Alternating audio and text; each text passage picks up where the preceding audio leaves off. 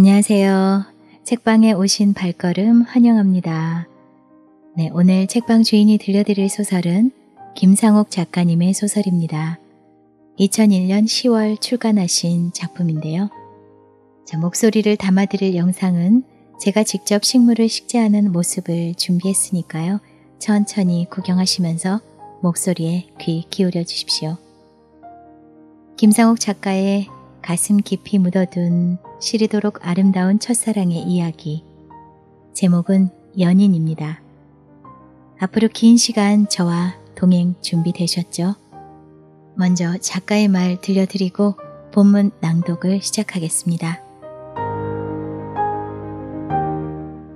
작가의 말 나는 언제나 끝없는 갈증을 느낀다. 과연 진실한 사랑이란 무엇일까? 사랑의 흔적조차 사라져가는 듯한 이 각박한 세상 속에서 견디기가 무척 힘겨웠다. 진정한 사랑에 목말라 하는 나의 가슴. 아니, 이처럼 험난한 세상을 살아가는 모든 이들과 나의 글을 사랑으로 보아주시는 독자들의 가슴을 따뜻하게 해줄 그런 감동을 찾아 써보았지만, 그러나 언제나 다 쓰지 못했다는 참담함이 나의 가슴을 짓누르곤 했다. 그런 참담함을 억누르고 또 한 번의 부끄러운 글을 내놓으며 간절한 마음으로 기도한다. 이 글이 슬픈 사랑으로 가슴앓이 하는 사랑 때문에 힘들어하는 이들에게 작은 위안이라도 될 수 있기를. 2001년 10월 김상욱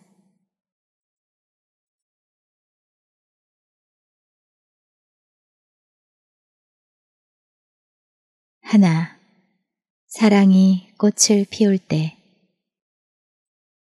1. 누렇게 익어가기 시작하는 별삭들이 창가에 앉은 하윤을 향해 다가왔다가는 어느 틈엔가 뒤편으로 쏜살같이 내달리고 있었다. 하윤이 기댄 의자에 덜컹거리는 움직임이 전해져 왔다. 기차가 정차역에 들어서는지 덜컹거리며 속력을 줄이고 있었다. 역 이름을 알리는 이정표가 눈에 들어왔다. 원주역이었다. 며칠 밤을 뜬 눈으로 지새운 하유는 통일호 열차가 원주역에서 승객들을 토해내는 왁자지껄한 소리를 들으며 하염없이 내리는 잠의 빗속에 젖어들기 시작했다. 하윤이 다혜의 소식을 들은 것은 4일 전에 늦은 밤이었다. 하윤이 현장에서 작업을 마치고 동료들과 술자리를 벌이다가 만취한 상태로 기자촌 하숙집에 돌아온 것은 언제나처럼 늦은 시간이었다. 하윤의 하숙집은 진관사로 향하는 비포장 도로를 따라 154번 버스 종점에서 5분 정도의 다리품을 팔아야 다다를 수 있는 특별시에 편입되어 있으면서도 여느 시골 풍경을 연상케 하는 곳에 자리 잡고 있다. 하윤은 늦은 귀가 시간에는 주인 댁에게 대문을 열게 하는 수고로움을 끼치지 않고 자신에게 쏟아지는 타박을 당하지 않으려고 곧잘 현관 앞에 버티고선 오동나무를 타고 대문을 넘는 일이 있었다. 언젠가는 그런 하윤을 옆집 사람들이 보고 도둑으로 모는 바람에 파출소에 끌려가 조사를 받는 총국을 빚기도 했지만 그날은 12시가 가까워오는 늦은 시간이었는데도 이상하게 대문이 잠겨 있지 않았다. 대문을 열고 들어서는 하윤의 기척을 들었는지 안방 미닫이 문이 열리며 뿌연 형광등 불빛이 작은 마당으로 쏟아졌다. 김대리요? 예, 오늘은 좀 늦었습니다. 늦은 것이 어디 오늘 하루뿐인가? 또 술을 마신 모양이구려. 아, 예, 죄송합니다. 저녁은 먹었습니다. 대문은 제가 잠글 테니 그냥 들어가세요. 마당으로 내려선 주인댁이 하윤에게 걱정스레 말을 건넸다. 술도 좋지만 몸도 좀 생각을 해야지. 어여 들어가요. 문은 내가 잠글 테니 그냥 들어가요. 그날따라 주인댁의 태도는 곰살구졌다. 평소에 그녀는 하윤을 자식처럼 생각한다는 핑계로 잔소리가 심한 편이었다. 더구나 귀가가 늦을 때에는 잔소리가 더 심했다.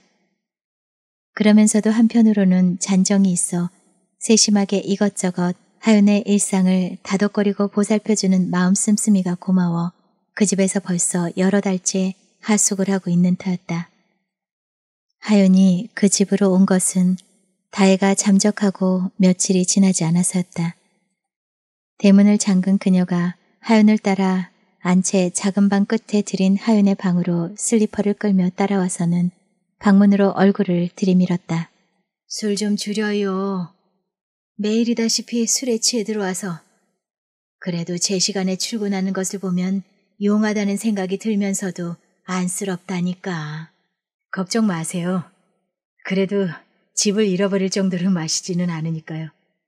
그날따라 몸이 몹시 무거웠다. 옷을 벗을 기운도 없었다. 벽에 기대어 앉아 맞은편에 걸린 다의 프로필을 바라보고 있을 때였다. 그녀가 물었다. 그런데 연락은 받았소? 무슨... 아, 아, 글쎄 낮부터 어떤 남자가 여러 번 집으로 전화를 해서 김대리를 찾는데 오늘 안으로 꼭 좀 만날 수 없느냐길래 김대리 사무실 전화번호를 일러주었는데 누구라고 하던가요? 누구라고 얘기는 하지 않고 말하는 태도로 봐서 꽤 급한 일인 것 같던데. 그래요? 오늘 사무실에 하루 종일 없었거든요. 현장에 나가 있느라고. 뭐 급한 일이면 내일이라도 다시 연락하겠죠. 너무 걱정하지 마시고 주무세요. 엄마! 김대리 그 사람 들어왔으면 전화 받으라고 해요. 아, 이 늦은 시간에 예의도 없나? 늦은 시간에 걸려온 전화 때문에 볼멘 소리로 투덜거리는 수진의 목소리를 들으며 하윤은 비틀거리면서 일어섰다. 방을 나선 하윤은 부엌 문턱에 걸려 넘어졌다. 저녁도 먹지 않은 채 들이킨 소주 탓에 그는 엉망으로 취해 있었다. 부엌을 나서자 온 세상이 아우성치며 하윤에게 달려들어 빙글빙글 돌아가기 시작했다. 그는 가까스로 몸을 가누며 수진이 마루에 내려놓은 수화기를 집어들었다. 여보세요. 전화 바꿨습니다만. 여보세요. 전화 바꿨습니다만 이 늦은 시간에 전화를 거신 분이 누구십니까? 수진의 볼멘 소리에 심사가 뒤틀려 하윤의 꼬부라진 혀 끝에서 나오는 말씨가 곱지 않았다.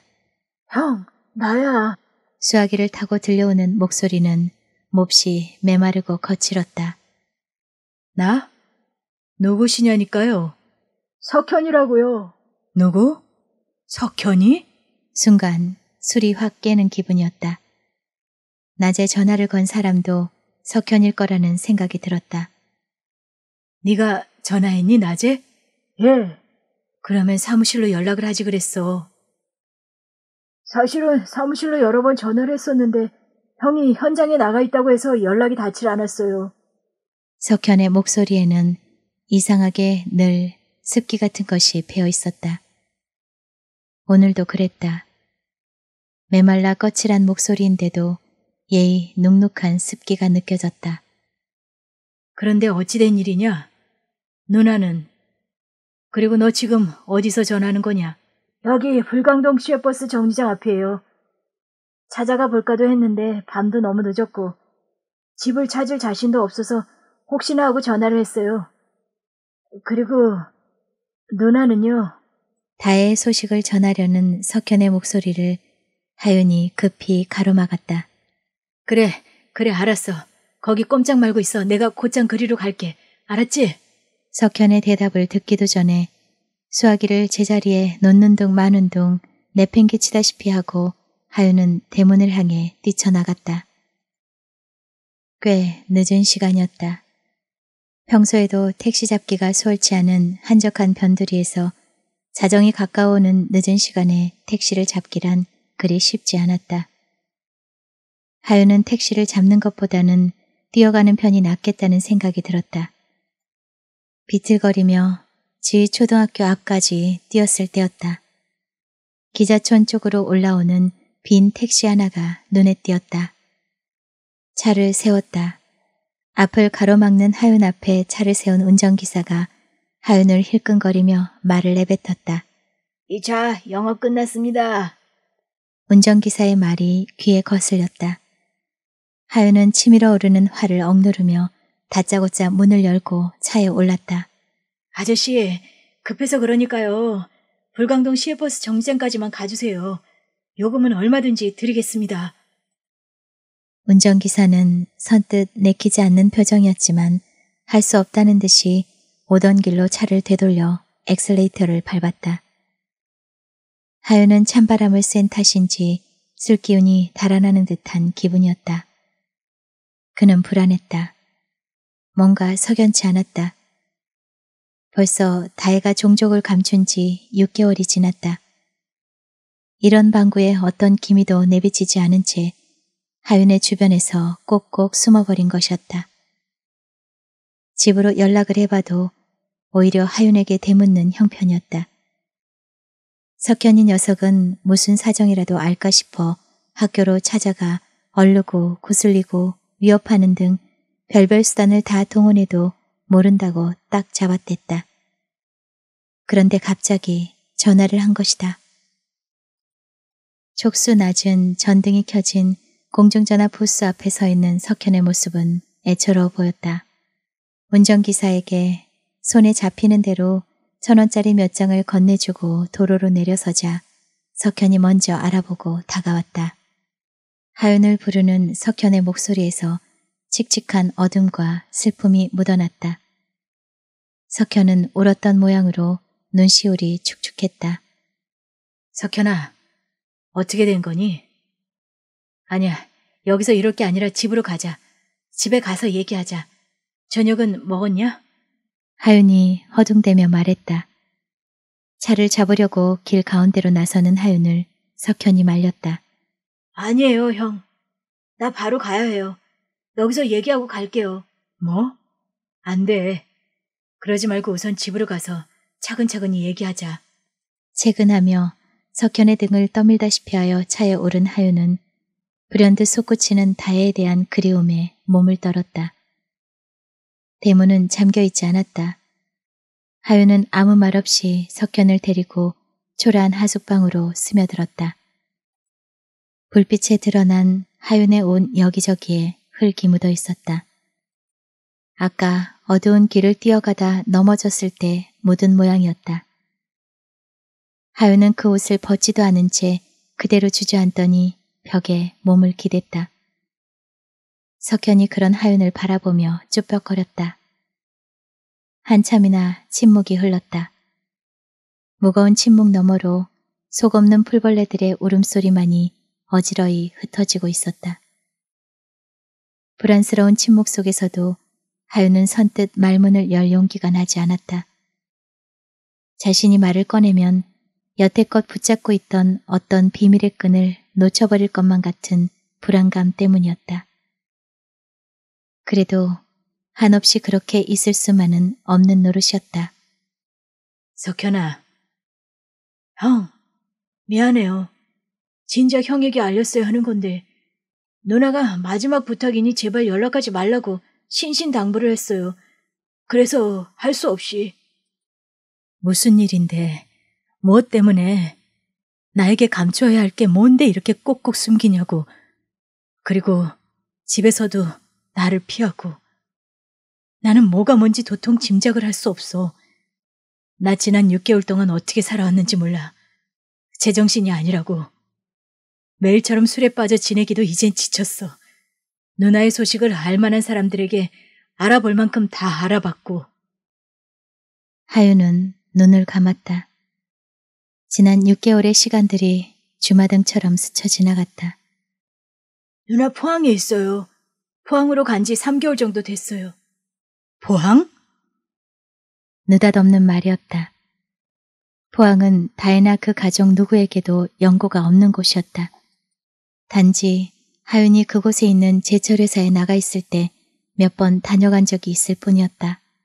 또 하윤이 첫 번째 인생의 좌절을 겪을 때 자신을 뒷바라지하기 위해 3개월인가 머무른 적이 있을 뿐이었다.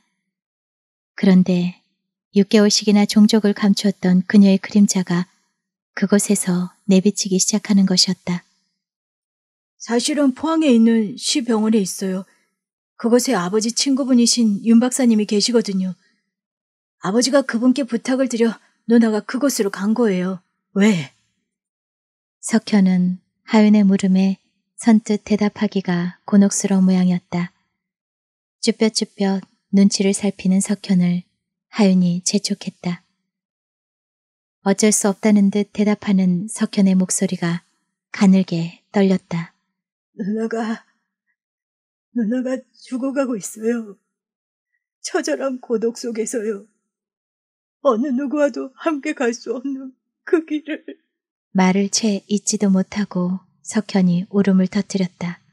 사실은 오늘 이곳에 와서는 안 된다는 것을 알면서도 나는 오지 않을 수가 없었어요. 사흘 전 형이 학교로 나를 찾아왔을 때 모른다고 잡아떼긴 했지만 돌아가는 형의 어깨 위로 내리던 절망감이 나를 이곳으로 오게 했는지도 몰라요. 그때 형이 초췌해진 얼굴 속에서 늘 풀꽃처럼 웃던 누나의 모습을 보았거든요. 그때 형의 간절한 눈길 속에서 형이 얼마나 누나를 사랑하고 있는가를 비로소 느꼈고요. 그래서 지난 사흘 동안 곰곰이 생각하다가 연락할 결심을 하게 됐고요. 석현은 한숨을 푹 내쉬더니 말을 이었다. 누나는 나에게 말했어요. 절대로, 절대로 알려서는 안 된다고.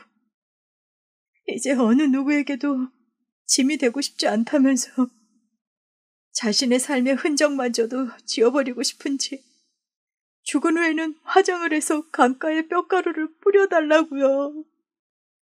석현의 울음 속에서 토해지는 다혜의 소식을 들으며 하윤은 막연해질 뿐이었다. 죽어가고 있다고?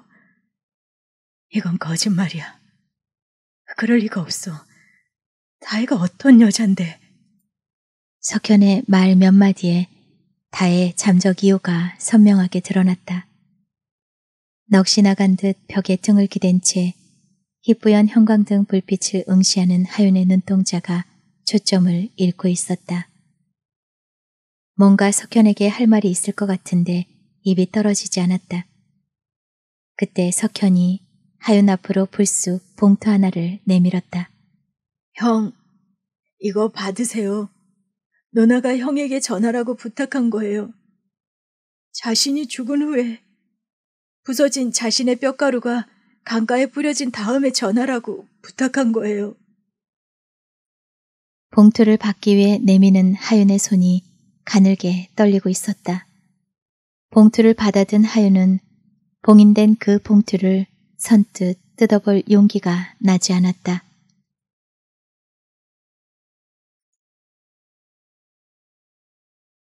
이 그날 밤 하윤은 석현을 데리고 밑빠진 독에 물을 들이붓듯이 소주를 들이켰다. 불 꺼진 구멍가게에 덧문을 두드려서 사온 술을 하윤은 석현의 만류에도 불구하고 인사불성이 될 정도로 마셔댔다.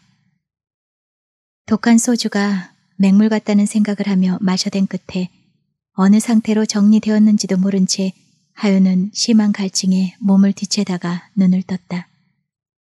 작은 창문에 쳐진 커튼 사이를 비집고 들어온 아침 햇살에 아직도 켜진 채 천장에 덩그렇게 매달린 형광등 불빛이 죽어가고 있었다. 창문 밑에 있는 책상 아래로 물주전자가 보였다. 하윤은 그것을 끌어당겨 벌컥벌컥 들이켰다. 물은 미직지근했다. 갈증을 면한 하윤이 멍한 눈길로 비로소 좁은 방 안을 살폈다. 소주병들과 유리컵 두 개, 김치 조각을 담았던 플라스틱 용기 등 속이 어지러이 여기저기서 뒹굴 뿐 석현의 흔적을 찾을 수는 없었다. 그의 흔적이라고는 아랫목에 떨어져 있는 하윤에게 건네준 두툼한 봉투뿐이었다. 머리가 쑤셨다. 취기가 가시지 않아 어지러웠다. 몸도 무거웠다. 한쪽 벽에 걸린 시계가 9시를 가리키고 있었다. 이미 출근하기에는 늦은 시간이라는 생각에 하윤은 다시 자리에 누워버렸다. 하윤이 다시 눈을 떴을 때는 12시가 넘어 있었다. 그러나 하윤은 자리에서 일어나지 않았다. 그때 방문이 열리며 주인 댁의 걱정스러운 눈빛이 하윤의 눈에 들어왔다. 어쩐 일이오? 무슨 일이 있어? 어제 함께 온 총각은 일찍 나갔는데 웬 술을 그렇게들 마시는지 원.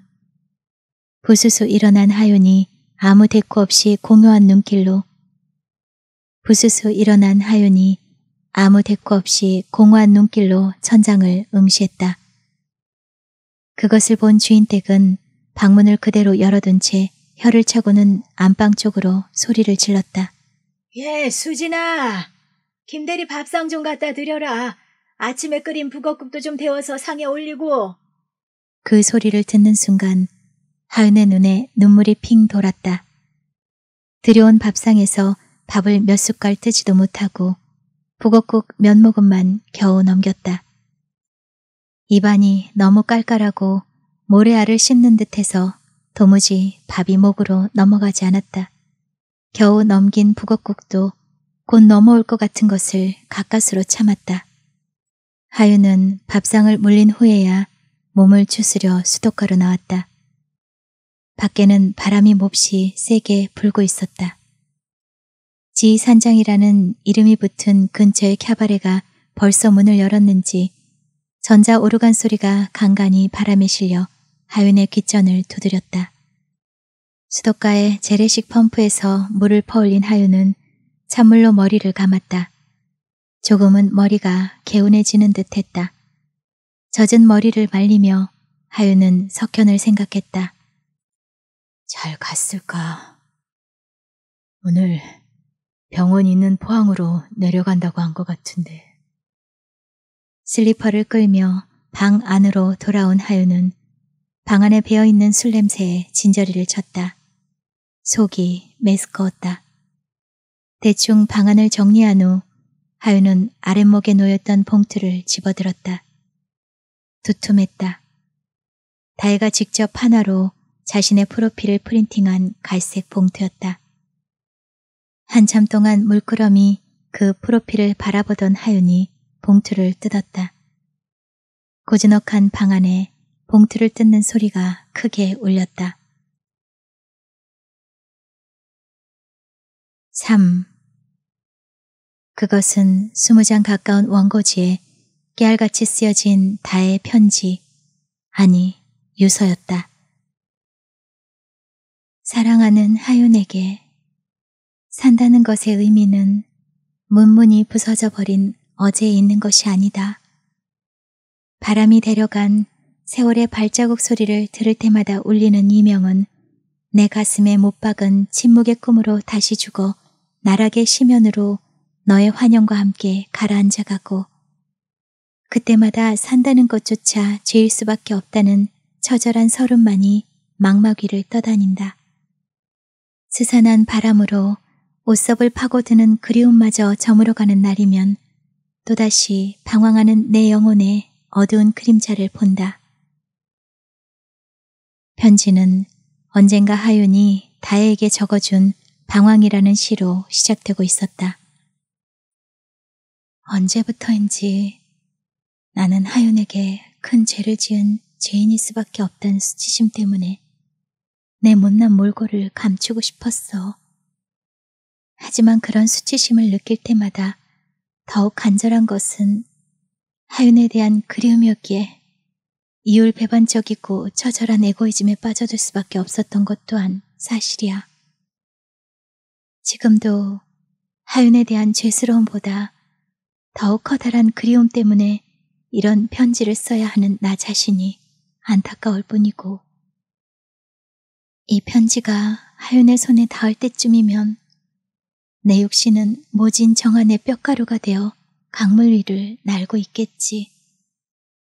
그때쯤이면 하윤도 이 못난 여자에 대한 기억을 떨쳐버릴 수 있을 것이라는 생각을 해보고 있어.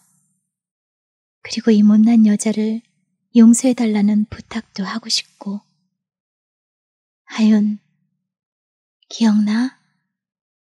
우리의 시작이 벌써 3년 전 이야기야. 우리의 첫 만남이 이루어진 것은 인사동에서 열린 내 판화전에서였지. 나는 그날 화랑에서 처음 본 하윤의 인상을 지울 수가 없어. 내 생이 끝나고 억겁의 세월을 윤회해야 하는 서러운 운명이라 할지라도 그때 하윤의 표정을 천영처럼 지고 다닐 수밖에 없을 거란 생각이야. 내 작은 연꽃 하나 앞에서 넋을 잃고 서 있는 하윤의 모습을 보는 순간 나는 알 수 없는 연민을 느꼈어. 몇 번이고 작은 연꽃 앞에서 발을 멈추던 하윤의 모습. 화랑 주인에게 가격을 물어보고는 당황해하던 그 모습 속에서 나는 스스로 억제할 수 없는 흡인력에 빨려 들어갈 수밖에 없었어. 그 후에 우리의 만남이 시작되고 그 흡인력이 하윤의 말처럼 500생의 전생을 함께 살아오며 맺은 인연의 끝이라는 말을 들었을 때 나는 비로소 그때의 감정을 이해할 수 있었지. 알 수 없는 흡인력에 이끌려 하윤에게 다가선 나에게 하윤은 물었어. 이 연꽃이 어떻냐고. 나는 그 말에 대답하지도 않고 내가 누구인지도 모르는 하윤에게 불쑥 말을 건넸지. 그 연꽃 가지세요. 예? 어리둥절해서 어쩔 줄 모르는 하윤에게 나는 또 이렇게 말했어. 사랑할 줄 아는 사람에게 소유당하는 것도 나쁘지는 않죠. 선생님, 이 판화 이분께 싸드리세요. 멍한 표정을 지으며 바라보던 그 눈길이 어쩜 그렇게도 순일해 보였는지 몰라. 그 잊을 수 없는 눈길이 지금까지도 내가 하윤에게 이런 편지를 쓰게 된 이유인지도 모르겠다는 생각이 들어. 영문도 모르는 채 엉거주춤 파나를 받아들고 하윤이 내게 명함을 건네주며 화랑을 떠나던 그날. 이제껏 떨어져 있던 인연의 질긴 끈이 매듭을 맺고 말았던 것 같아. 그러나 내가 누구인지도 모르는 채 떠난 하윤과 다시 만나게 된 것은 그 일이 있은 지 3개월이 지난 늦가을의 어느 날이었어. 송광사였지. 나는 그때 다시 만나게 될지도 모르는 하윤의 그 눈길을 피할 생각으로 전통 문양을 스케치한다는 핑계를 대고 여러 절을 찾아다니고 있었지.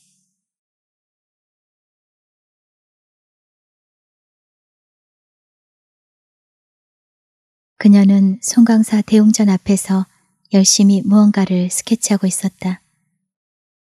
하윤은 그날 광양에 있는 제철 회사로 출장을 갔다가 일을 마친 후 하루 정도 여유가 생겨 송광사를 참배하고 올라갈 생각으로 들른 참이었다. 하윤의 눈에 대웅전 앞에 쪼그리고 앉은 작은 여인의 모습이 들어왔다.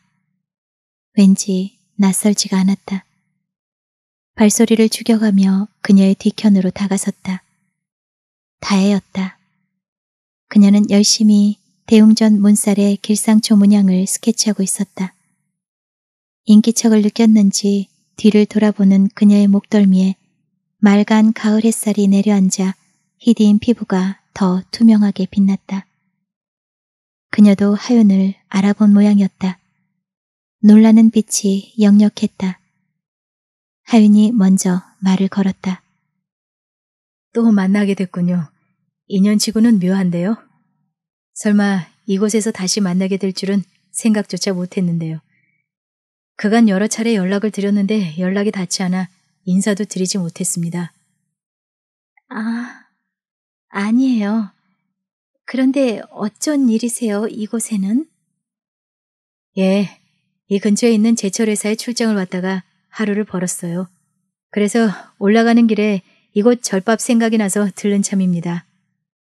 그러세요? 그럼 그렇게 바쁘시지는 않겠군요.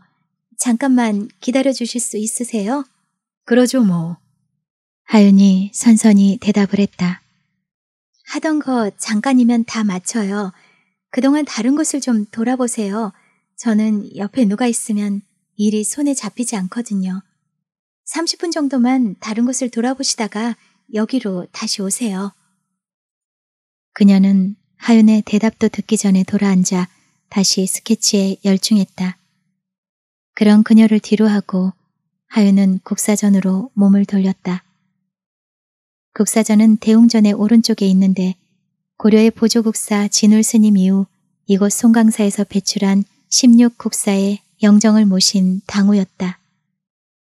송강사는 전남 숭죽은 경내 조계산 서쪽 기슭에 위치해 있으며 예부터 숭보 사찰로 이름난 곳으로 고려시대 16국사를 배출한 것을 비롯해 현재까지도 선종의 훌륭한 승맥을 이어오고 있는 큰 절이다. 하윤은 국사전에 올라온 김에 그 옆쪽에 있는 조사 영가까지 갔다가 다시 대웅보전 앞으로 내려왔다. 겨울 초입이어서인지 옷깃을 파고드는 산바람이 무척 쌀쌀했다.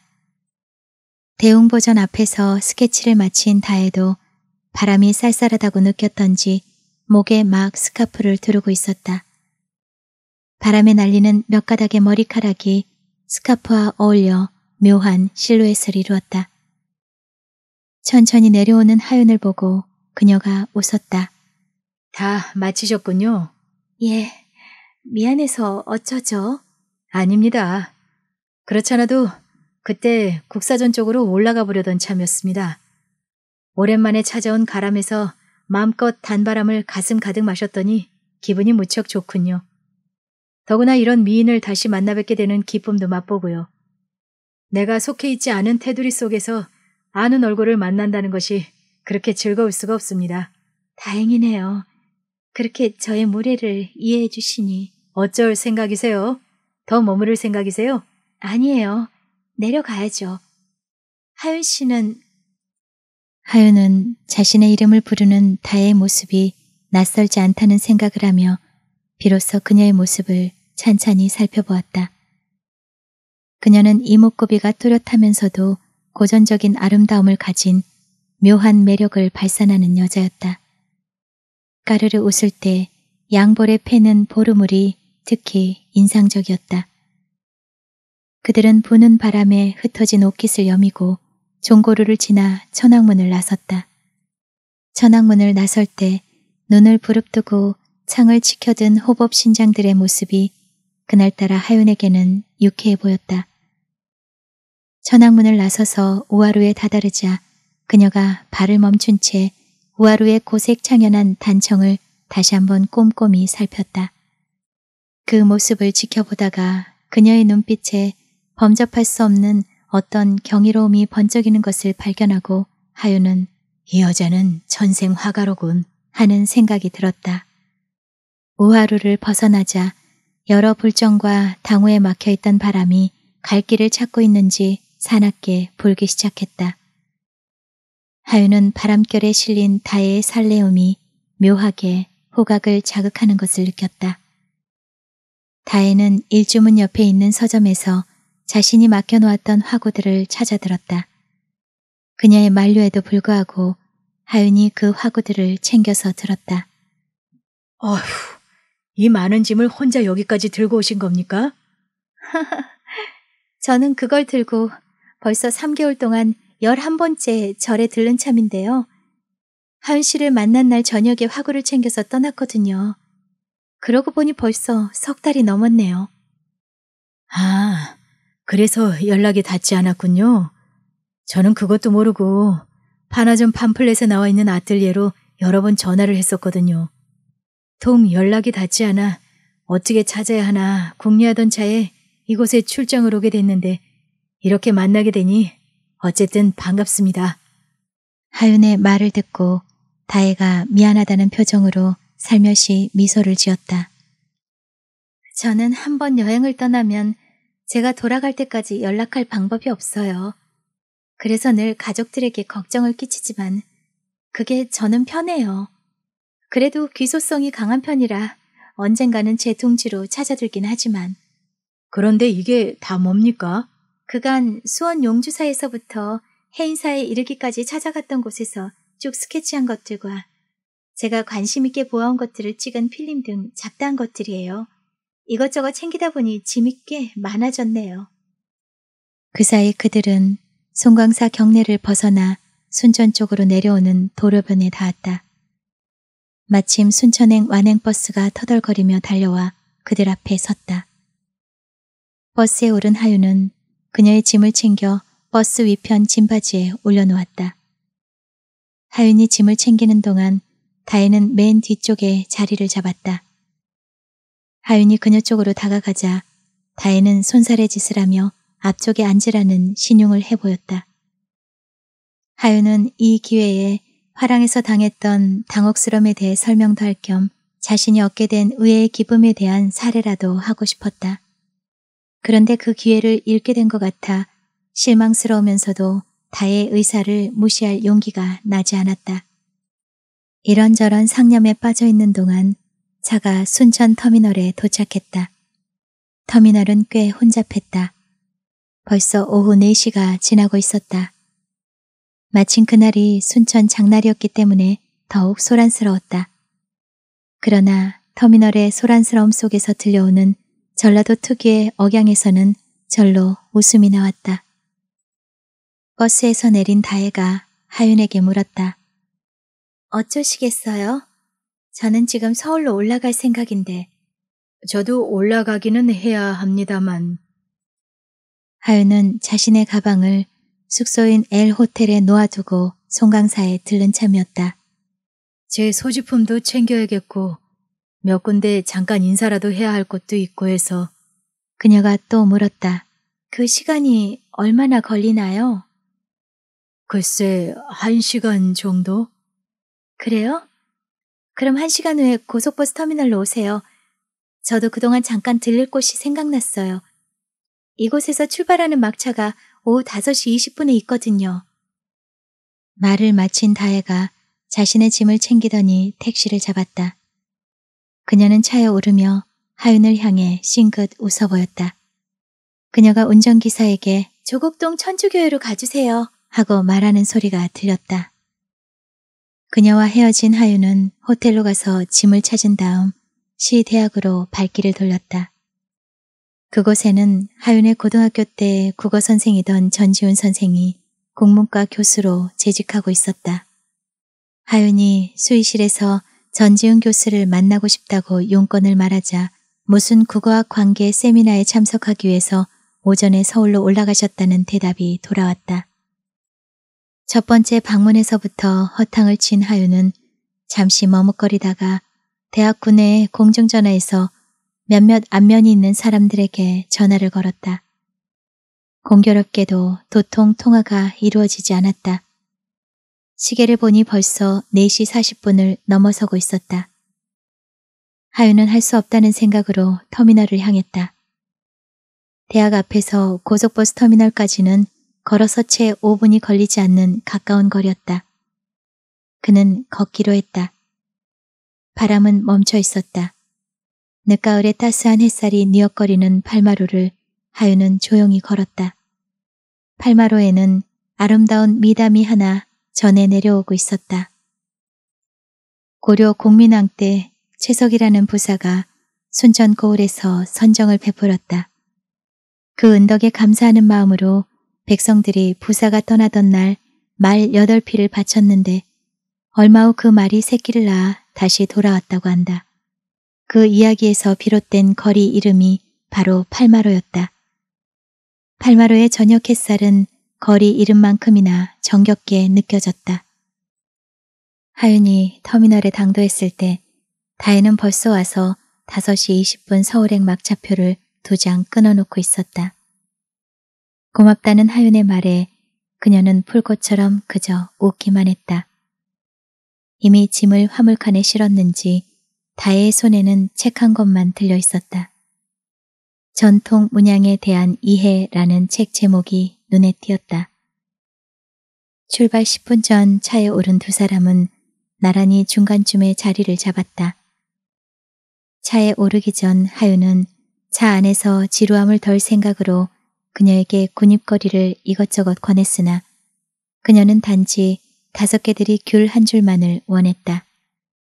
차가 담양을 지나자 대지 위에 어스름이 내리고 도로변에 위치한 농가의 창문에서 새어나온 불빛들이 별빛처럼 떠오르고 있었다. 차가 터미널을 떠나 꽤 오랜 시간이 지나는 동안에도 다혜는 말을 잊은 듯 창밖만 내다보았다.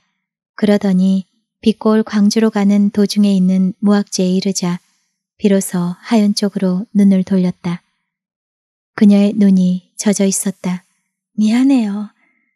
저는 노을만 보면 눈물이 나거든요. 괜스레 서럽고 나이가 서른을 넘었는데도 하는 짓은 마냥 사춘기 어린아이라고 늘상 친구들에게 놀림을 당하면서도 이런 청승은 어쩔 수가 없네요. 자신의 말처럼 청승스러운 모습을 하윤에게 들킨 것이 쑥스러웠던지 그녀의 볼이 붉어졌다. 그런 모습이 아름다웠다. 다혜 쪽으로 얼굴을 돌리며 하윤이 입을 열었다. 아닙니다. 그만큼 순수하다는 것 아닐까요? 요즘처럼 물질만을 아는 세상에서 한다혜 씨만큼 소녀 같은 순수한 감정을 가진 사람이 몇이나 될까요? 하윤의 말은 진심이었다. 하윤의 태도에 적이 마음이 놓였는지 다혜는 보르물을 지으며 웃었다. 그 웃음이 참 곱다는 생각을 하며 하윤이 계속 말을 이었다. 참, 인사가 늦었습니다. 제 이름을 기억하고 계시던데 정식으로 인사드리죠. 저는 김하윤입니다. 나이는 27이고 현재 희중공업 중정기과에 근무하고 있습니다. 하윤은 일부러 신병이 관등 성명을 대듯 단숨에 말을 주어 섬겼다. 다혜는 그런 하윤의 모습을 재미있어 했다. 그날 화랑에서 저는 무척 당황했습니다. 화랑에서 그 작은 연꽃 하나를 보는 순간 쉽게 자리를 떠날 수가 없더군요. 그래서 그 판화를 구입할 생각으로 화랑 측에 가격을 물어보았던 거고요. 그런데 5호 크기밖에 되지 않는 작품이 물경 50만 원이라고 알려주는데 나 같은 사회초년생의 월급으로는 감히 꿈도 꿀 수 없는 거액이었죠. 그래서 다시 한번 더 보고 싶어 그 앞에 다시 섰을 때 다혜 씨가 다가온 거죠. 그때 저는 그 연꽃에 취해 정신이 좀 멍한 상태였거든요. 그래서 옆에 다가가서 다혜 씨에게 물었는데 하필이면 그 연꽃 하나의 작가에게 작품이 어떤지 물었으니 그런데 제 물음에는 대답도 없이 불쑥 그 연꽃 가지세요. 사랑할 줄 아는 사람에게 소유당하는 것도 나쁘지는 않죠. 하고는 화랑 측 사람을 불러 포장을 해서 저에게 주라고 했죠. 그러고는 이렇다 저렇다 말도 없이 돌아서 나가는 한다혜 씨 모습을 당황한 표정으로 바라보던 제 모습을 상상이나 해보셨습니까? 저런, 그렇게 당황하셨나요? 그렇게 당황했느냐고요? 당황 정도가 아니라 말로 표현할 수 없을 정도의 놀라움이었습니다. 그래서 돌아서 나가는 한다희 씨 뒤를 허둥지둥 쫓아가서 제 명함을 건넨 것이죠. 그런데 아무 표정도 없이 명함을 받아 핸드백에 집어넣더니 기억미술관 쪽으로 올라가시더군요. 다시 쫓아갈 수도 없고 해서 할 수 없이 화랑에서 싸주는 파나를 들고 나오기는 했지만 그때 제 기분은 난감할 따름이었습니다. 어쨌든 기분은 좋았죠. 집에 돌아오자마자 파나를 펴보았습니다. 펴보니 파나전을 알리는 팜플렛 한 권이 함께 들어있더군요. 그것을 보니 연락처는 화랑과 아뜰리에밖에 나와 있지 않았고요. 그래서 다음날 아뜰리에 공간으로 전화를 얻더니 계속 통화 중이었어요. 여러 차례 전화를 해도 상황은 마찬가지였고요. 그래서 전화국으로 문의를 했죠. 대답은 수화기를 내려놓은 모양이라는 거예요. 다시 화랑으로 직접 찾아가 봤죠. 다행히 저를 알아보더군요. 그러면서 하는 말이 막무가내로 모른다는 거예요. 그리고는 말이나 하지 않았으면 덜 답답할 텐데 덧붙이는 말이 한 달 씨의 부탁도 있고 해서 알아도 못 가르쳐 준다는 거예요. 꼭 뭔가에 홀린 듯한 기분이 들기도 하고 한참 실랑이를 벌이다 돌아와서는 그날부터 아마 매일이다시피 전화를 했을 거예요. 대답은 늘 부재중이라는 신호뿐이었지만 사실은 오늘 아침에도 아틀리에로 전화를 한 차례 했었죠. 그런데 왜 저와 연락이 닿는 것을 꺼리는지 그 이유를 이 기회에 말해 주실 수 있습니까? 말을 마친 하윤이 쑥스러운 표정을 지우려고 씩 웃었다. 다혜는 하윤이 들려주는 그간의 사정을 아무 표정 없이 묵묵히 듣고만 있었다. 아니, 듣고 있다고는 하지만 사실 하나도 귀에 들어오지 않았다. 그날 하윤이 화랑을 떠난 후에 다시 돌아온 다혜는 화랑 주인인 엄화백에게 신신당부를 했다. 절대로 아까 그 사람이 자신의 거처나 신상에 대해 물어오면 가르쳐 주어서는 안 된다는 다짐을 받고 그날 밤으로 화구를 챙겨서 스케치 여행을 떠났던 터였다. 다혜는 여행길에 오르면서도 이상하게 하윤의 모습이 내리를 떠나지 않았고 그 모습을 떠올릴 때마다 알 수 없는 불안감이 엄습했다. 놀란 표정으로 자신을 쳐다보던 하윤의 무구한 눈빛이 왠지 모르게 눈앞에서 어린거림을 느끼면서 언젠가는 다시 만날 수밖에 없을 것이라는 예감이 왔다. 그러면서도 되도록 그날을 뒤로 미룰 수만 있다면 한껏 미루고 싶었다. 그렇기 때문에 사흘이나 남은 파나전의 뒤처리를 엄화백에게 이름을 한 채 서둘러 서울을 떠났던 것이다. 그런데 뜻하지 않은 곳에서 부닥치게 되었으니 달리 피할 도리가 없었다. 송강사 대웅전 앞에서 하윤을 알아봤을 때 다혜는 겉으로는 태어난 척 자신의 마음을 추스렸지만 흔들리는 자신을 느꼈고 할 수만 있다면 하윤 앞에서 멀리 도망이라도 가고 싶은 심정이었다. 그러나 그런 다혜의 마음 한편에서는 또 다른 마음이 그녀를 흔들어댔다. 자신의 마음 한편에서 달콤하게 속삭이는 큐피디의 목소리를 듣자 다혜는 그 유혹에 손을 들고 말았다. 그래, 부닥치는 거야. 사랑할 수밖에 없다면 그렇게 내맡기는 수밖에. 그렇다고는 해도 불안스러운 것은 마찬가지였다. 문득 자신의 처지에 생각이 미쳤다. 그녀는 아직까지 이혼한 여자를 곱게 보지 않는 인수배 테두리 속에서 살아가는 젊디 젊은 이혼녀였다. 더욱이 자신이 하윤보다 서너 살은 위일 것이라는 생각이 들자 하윤의 얼굴을 대하기가 쉽지 않았다. 그래서 달콤한 유혹의 손길을 내미는 큐피드의 손을 뿌리치고 멀리 달아나고만 싶었던 것이다. 하윤을 기다리던 터미널에서의 짧은 시간에도 그녀는 갈피를 잡을 수가 없었다.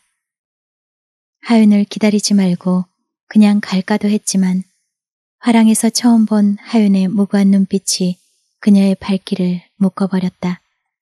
상념에 빠진 다혜를 하윤의 목소리가 현실로 불러냈다.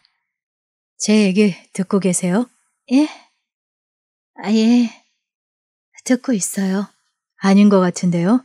무슨 걱정이라도 있으세요? 다혜는 자신의 마음을 하윤에게 들켜버린 듯해서 얼굴이 달아올랐다. 그래서 얼른 정색을 하며 부끄러운 마음을 감추고 어색하게 대답했다. 아니에요. 잠깐 딴 생각을 좀 했어요. 미안해요. 이야기 계속하세요. 그래서 이번에 올라가면 휴가라도 내서 한다혜 씨를 찾아 나설 계획이었거든요.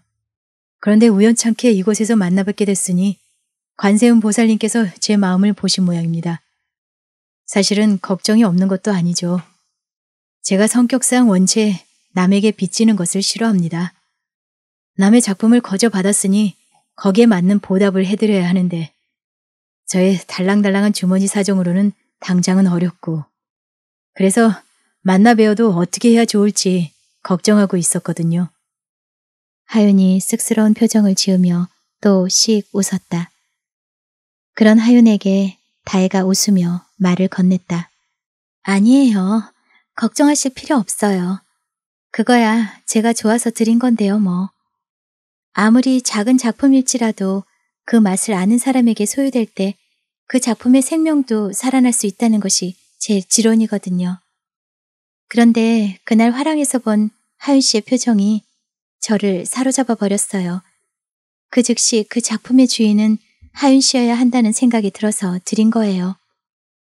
세 차례에 걸친 전시회를 통해서 하윤만큼 그녀를 사로잡은 관객은 없었다. 그녀는 자신의 작품을 읽는 관객의 눈빛으로 관객의 수준을 가늠할 줄 아는 힘을 가지고 있었다. 그렇기 때문에 그녀는 졸부들이나 투기의 대상으로 화랑가를 누비는 치맛바람이 화랑으로 밀려들 때는 벽에 걸린 자신의 작품들을 다 걷어 꼭꼭 감추고 싶은 충동에 사로잡히기도 했다.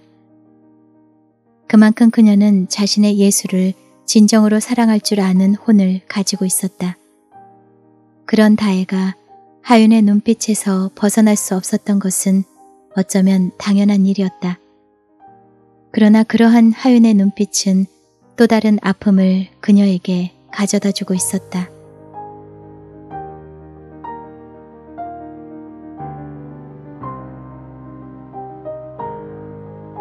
네, 김상옥 작가님의 장편 소설 가슴 깊이 묻어둔 시리도록 아름다운 첫사랑, 연인 이번 시간에 그 첫 번째 이야기를 들려드렸습니다. 오늘도 책방에서 편안히 머무셨길 희망하고요. 저는 다음 시간에 2편으로 찾아뵙도록 할게요. 감사합니다. 여러분의 구독과 좋아요는 책방에 큰 힘이 됩니다.